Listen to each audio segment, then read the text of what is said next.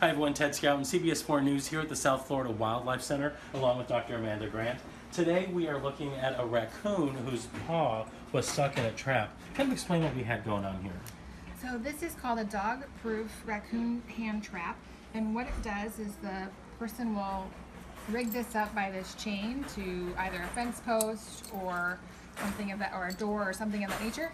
They then put some some food, something yummy, down inside of it. On there's a pin in there, a little catch pin, and then the animal, what it does is they reach in to get the food.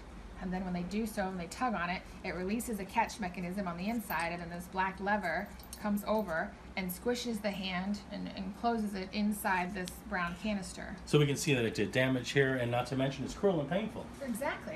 Extremely painful. Imagine if you've ever slammed your finger in a car door, how painful that was. Imagine your whole hand in there, and now you can't get it out, and you're stuck there with this thing on, maiming you.